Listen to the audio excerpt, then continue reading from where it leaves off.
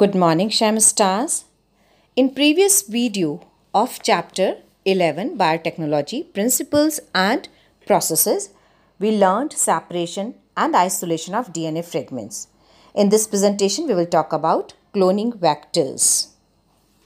Let's understand what are cloning vectors. Cloning vectors are the DNA molecules that can carry a foreign DNA segment into the host cell. It is a small piece of DNA taken from a virus, a plasmid, or the cell of a higher organism that can be stably maintained in an organism and into which a foreign DNA fragment can be inserted for cloning purposes. Most vectors are genetically engineered. The cloning vector is chosen according to the size and type of DNA to be cloned. Now let's understand features required for facilitate cloning into vector. Origin of replication or we can call it ORI, selectable marker, cloning sites, vectors for cloning genes in plants and animals.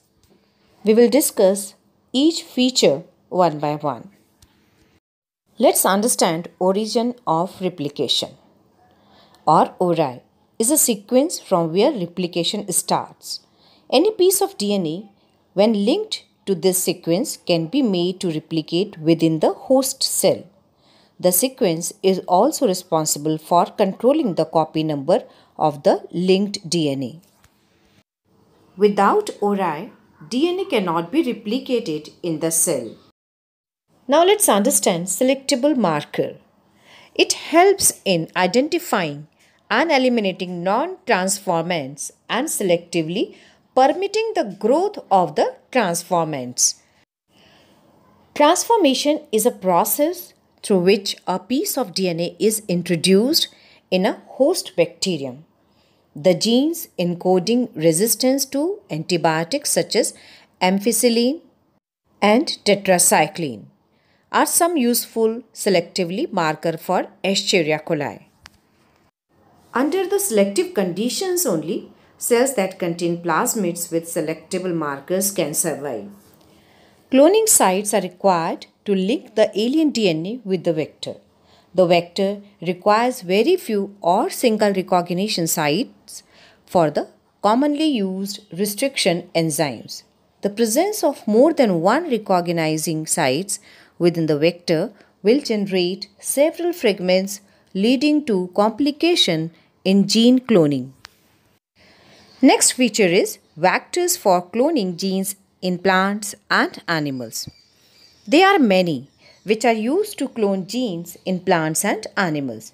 In plants, the tumor-inducing plasmid of Agrobacterium tumefaciens is used as a cloning vector.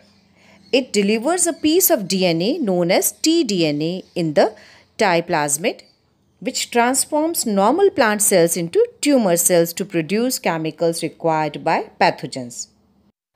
Retrovirus, adenovirus are also now used as cloning vectors in animals because of their ability to transform normal cells into cancerous cells.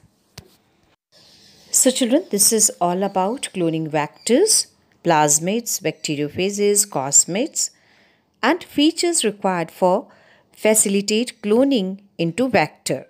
I hope you must have understood. In the next presentation, we will talk about competent host organism. Thank you, Shem Stars. That's all for today. You can drop your queries on Google Classroom. Take care.